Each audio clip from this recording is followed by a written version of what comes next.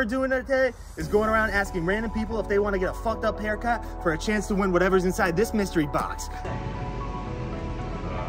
Five G's would be nice, but I'm, I'm good. I'm, What? I don't bite? Why you give me a What's dead fish, huh? Hey, I see you don't have much hair. It could be $5,000. It could be anything. Come on. When's your lunch break? No problem. How would you like a lunch break haircut? How would you like to get a fucked up haircut for a chance to win $5,000? Or something else? Money?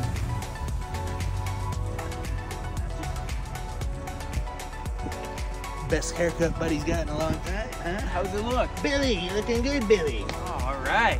And my five, get my five grand in there. Here you go, Billy. All right. Today's your lucky day.